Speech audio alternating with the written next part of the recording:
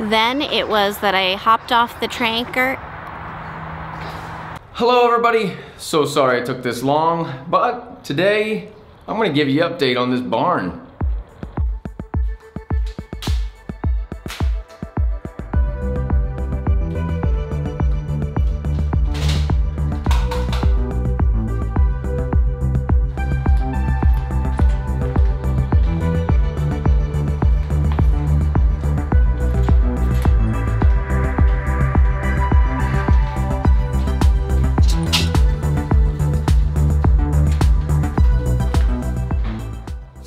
Question all of you have is, did the barn guy show up?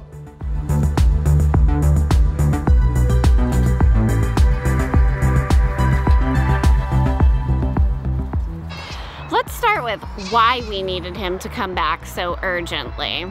We've got Stevie Nicks due to kid at the end of August, and I have four now, four unbred females, and they are currently sharing a fence line with two bucks. If you know anything about goats, you know how that could end. If you don't, well, let's just say a fence line won't stop them.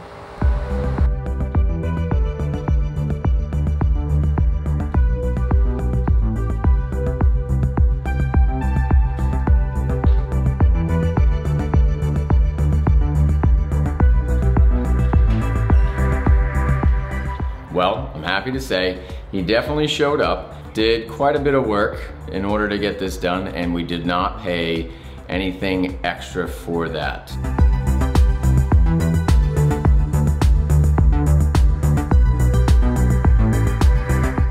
Um, there are some things that I'm gonna have to kind of go around and do yet, but for the most part, he did back up his word, which I'm very happy about. We now have a pressure treated sill plate, and in addition to that, uh, I had gotten a um, was polyethylene sill gasket.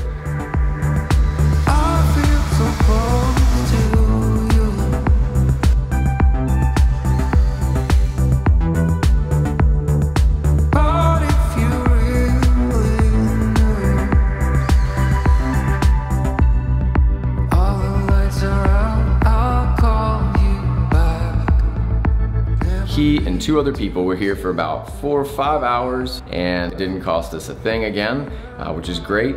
It was done a little unconventionally. They took three car jacks and jacked up uh, probably around three of the corners. They also had to jack up the middle wall.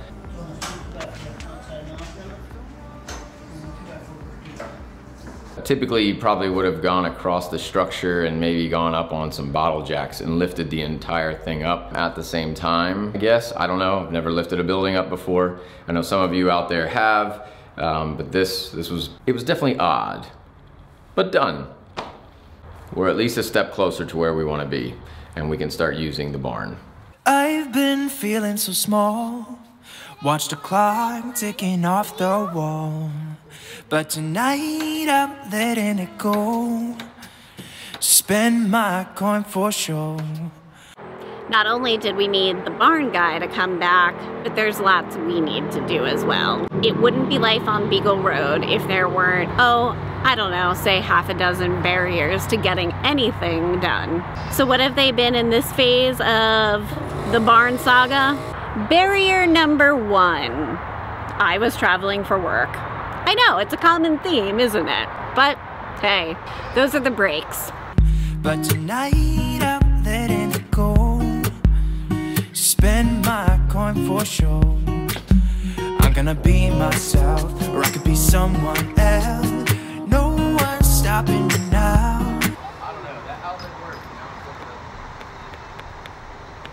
I can't even get a bottle of bug spray that works. Then it was that I hopped off the tractor and sprained my ankle. I'm gonna skip my breaks. I'm gonna make mistakes. I just wanna feel alive. It's just what I do when I'm out, so. You know, Kenny complains an awful lot about all these projects that I make him do, but he seems to get a new tool every time. When they lifted it up, there are some spots that are gonna need slight repairs and there are some things that I think are a bit sketchy now from that whole process. I guess that's to be expected when you lift a building up that was pretty much in place. In about a week, we're gonna put the drain spouts on. There's some spots in the siding that are gonna be, need to be repainted. There are definitely some gaps that we're gonna need to fill in with some uh, foam sealant. There are places in the 2x4s that are gonna need probably nailed back down in place because they came loose a little bit. So we wanna fix that. I'll probably screw it in so that way it stays. Uh, but all in all, we're gonna move forward. Um, like I had mentioned before, down around the bottom of the barn, I'm hoping to put some sort of um, beveled edge thing, I don't know. Tell me if you've got a, a, a better idea, but I've got about an inch and a half gap. The water is going to drip down the side of the barn um, when it hits it, and what it was doing before is sitting directly on the concrete pad.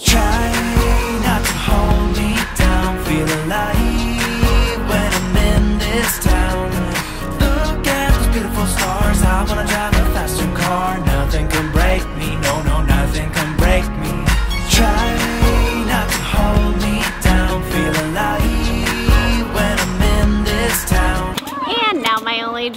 is handing Kenny staples.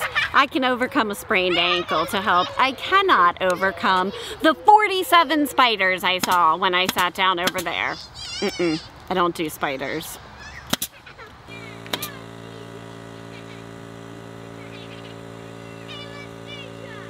Okay, so the gasket that went under the pressure treated sill plate is all stapled up.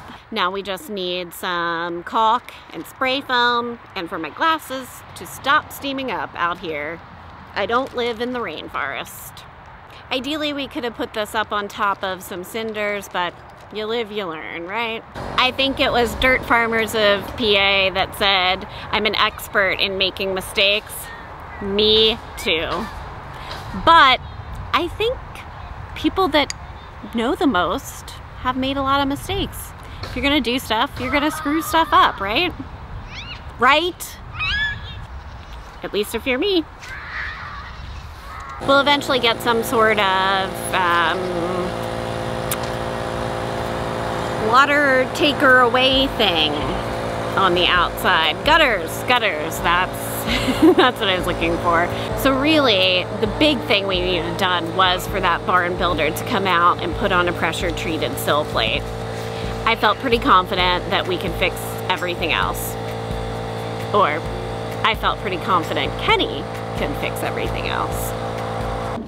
As far as a barn update, that's where we're at so far. Next step is to get our fence in and get these rain spouts up and try to fix the perimeter of the building. Like I said, if you've got any ideas on how we could make that more secure and waterproof or redirect that water off of that uh, ledge, then let me know what you have. I'd love to hear your ideas and see if there's a way that we can incorporate it into what we do next. Don't miss the next episode of Life on Beagle Road. We gotta talk about them chickens. We gotta make sure they're safe. Those ladies are getting a new home. Maybe I'll explain what's going on back here.